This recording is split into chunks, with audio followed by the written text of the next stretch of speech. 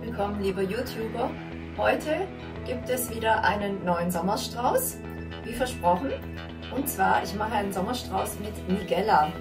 Hortensie mit blühender Artischocke und äh, Nigella gehört zur, zur Familie der Hahnenfußgewächse ähm, und wächst im Garten, ist einjährig, aber sieht sich auch wieder aus, hat eine sehr schöne kleine weiß bis lila Blüte und die Fruchtstände, die halten auch so, die kann man sogar so eintrocknen und kann sie später dann in die Herbstgrenze machen. Ähm, ist eine wunderschöne Beigabe für Streusel und ich versuche immer ganz viele tolle natürliche Früchte und äh, schöne Sachen zu sammeln. Und äh, das gehört auch dazu. Einmal in den Garten gelaufen und ähm, was man da Schönes damit machen kann, das zeige ich dir jetzt mit einem kleinen Strauß. So.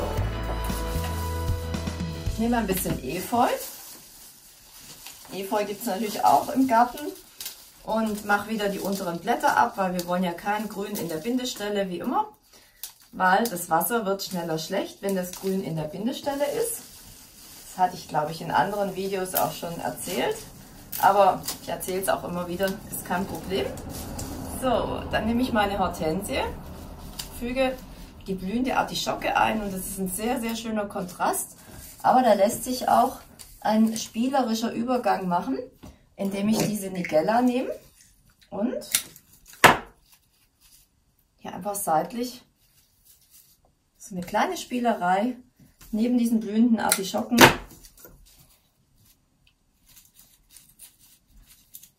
indem ich die einfach hier so rein, reinziehe in den Strauß.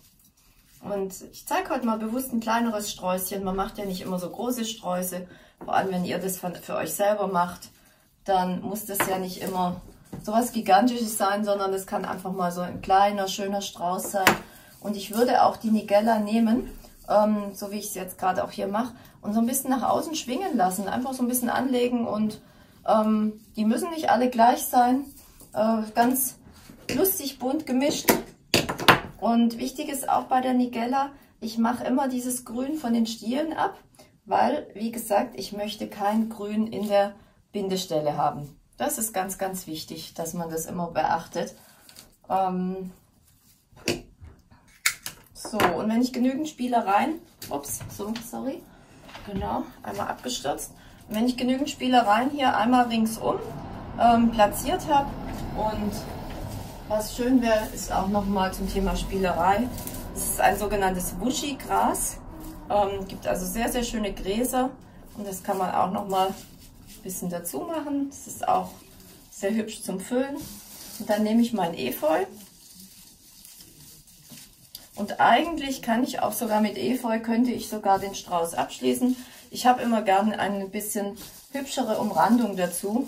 Und deswegen mache ich sehr gern einen schönen Blattabschluss. Ähm, meine Kunden finden das ja auch ganz toll.